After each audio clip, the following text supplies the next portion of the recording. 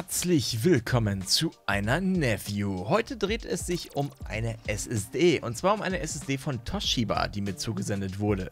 Und zwar um die TR200 in der 960 GB Version. Kostet in der Version im Schnitt 139,90 Euro. Gibt es aber auch in den Größen von 480 GB für 62,90 Euro und in der Größe 240 GB für 42,90 Euro.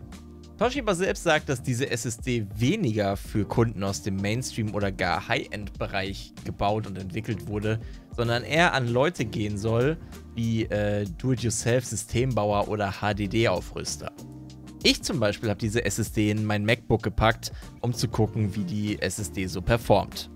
Denn gerade beim MacBook kann man zum Beispiel sehr gut eine zweite SSD nachrüsten, wenn man dann in meinem Fall auf das CD-Laufwerk verzichtet, was in der Version noch vorhanden war. Bei ganz neuen MacBooks ist ja schon gar kein CD-Laufwerk mehr verbaut.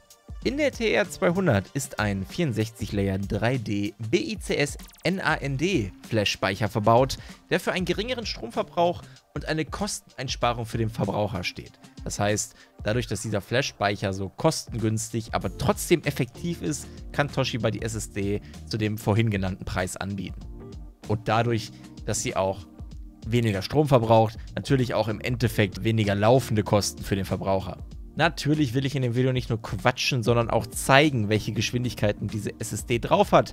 Dafür habe ich einmal den Blackmagic SSD-Test benutzt auf dem Mac und man muss sagen, ja, der Blackmagic-Test zeigt halt auch Auflösungen an, die man dann theoretisch gut verarbeiten kann mit der SSD in der Aufnahme oder im Lesen. Und das sind einige Auflösungen, wie man hier im Video sieht. Und die Geschwindigkeiten, die die SSD auch in einem anderen Test, in dem AJA-Test, den habe ich gefunden, zeigt, sind ich sag mal, normale SSD-Geschwindigkeiten. Die sind jetzt nicht schneller oder äh, langsamer als andere SSDs. Die bewegen sich in einem Bereich, der sehr, sehr normal ist für SSDs.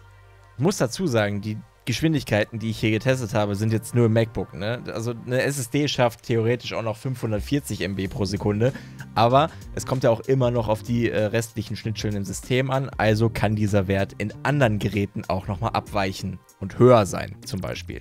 Wie gesagt, die UVP dieser SSD liegt bei 139,90 Euro. Ihr kriegt die aber auch schon für 110 Euro oder günstiger.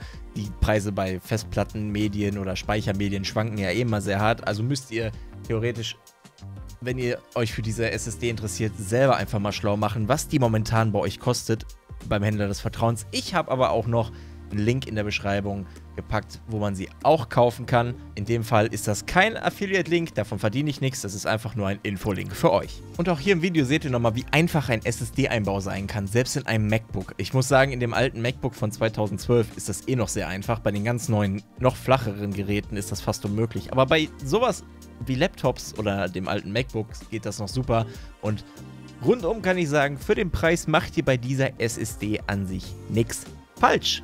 Es ist eine solide SSD von einer namhaften Firma wie Toshiba.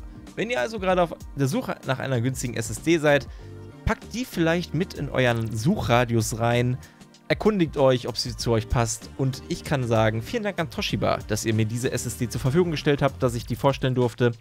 Und ich bedanke mich fürs Zusehen. Schreibt gerne Kommentare oder lasst Bewertungen da. Darüber freue ich mich und Toshiba bestimmt auch. Bis zum nächsten Mal. Ciao, ciao.